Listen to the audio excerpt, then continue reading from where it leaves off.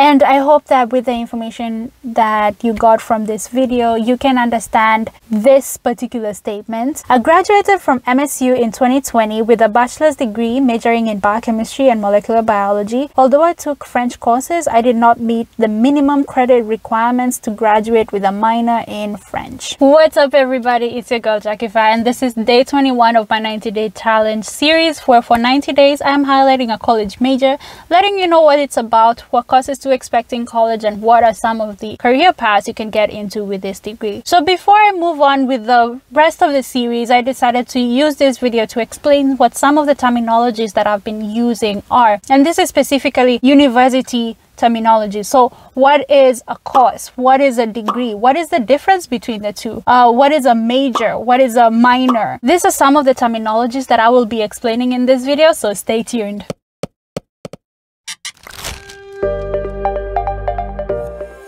Let's start off with a college major. So a college major is a specific field of study that you focus on when in college. So it's a combination of all the courses or classes that you will take in college that give you the knowledge for that field. So technically a major is a field, a field of study. What specifically are you studying in college? In this whole video, I will be using biochemistry uh, major and courses to explain some of these terminologies. I majored in biochemistry. Biochemistry is the field. However, in order to understand biochemistry, I needed to take courses or classes in molecular biology, cell biology, organismal biology, organic chemistry, inorganic chemistry, physical chemistry, some classes in physics and math. All of these courses are mentioned in a previous video that I did on biochemistry major. These are courses that I took in order to have the foundational knowledge in biochemistry. If you haven't noticed already, I have been mentioning courses and classes interchangeably because some countries or some regions, they refer courses as classes and classes as courses. So Math 101 course is the same as Math 101 class. Are you with me?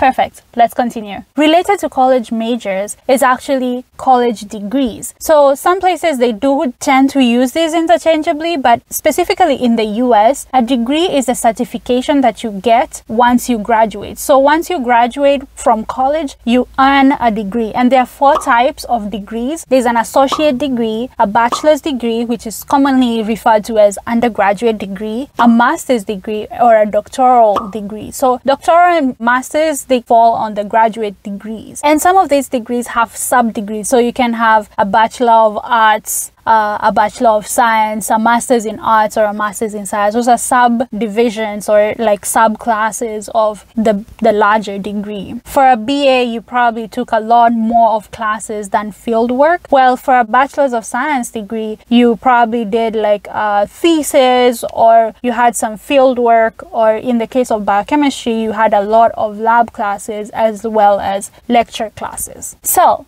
let's recap.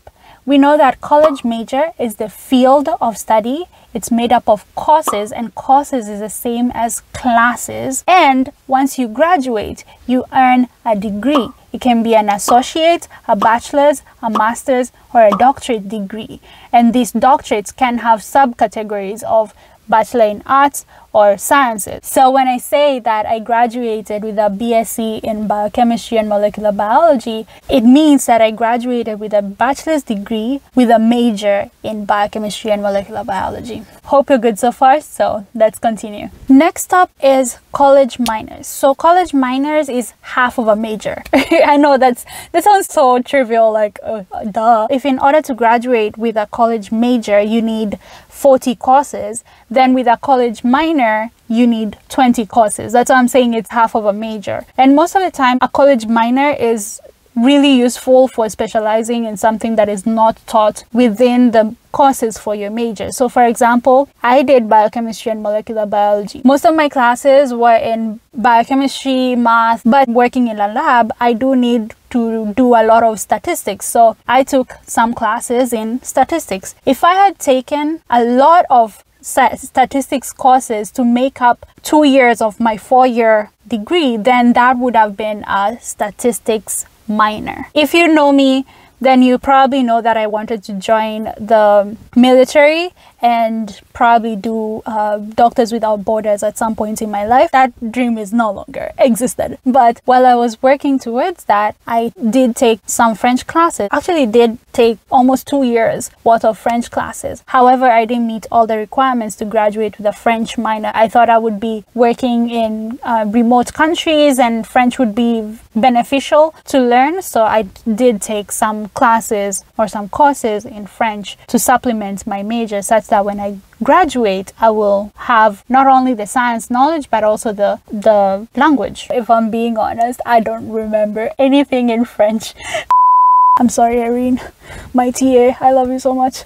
Next up, we have the credit system. And this is a system that is used widely in US universities and US high schools, actually. The credit system is a point system that is associated with each course, and it's supposed to denote how intense a course is and how much time you need to work on the course. Basically, if a course is designated as a one credit course, it means that for one hour, you will be in a lecture, so you'll be in class, and for two hours, you'll be working on your homework outside of class. So if it's a three credit course, then it means for three hours a week, you will be in class in a lecture type or some type of lab. And for six hours, you will be working on homework. So in total for an entire week, you are spending nine hours of your time working on this particular course, right? On average, courses in university are three to four credits. And in a semester, you do require to take about 12 to 15 credits in order to graduate on time. So you do need to have 120 credits in order to graduate with a degree in a specific area. Some universities might have different requirements, but on average,